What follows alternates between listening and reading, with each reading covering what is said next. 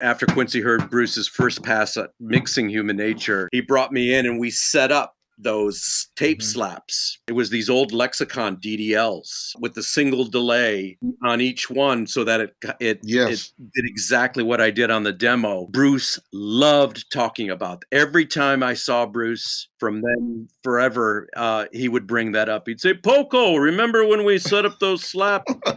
Was it Right. P- was it a PCM 41? The early don't know. lexicon? It was, they were like this Oh. big. They were they were. It wasn't like a prime time. It wasn't like a rack mount one at all.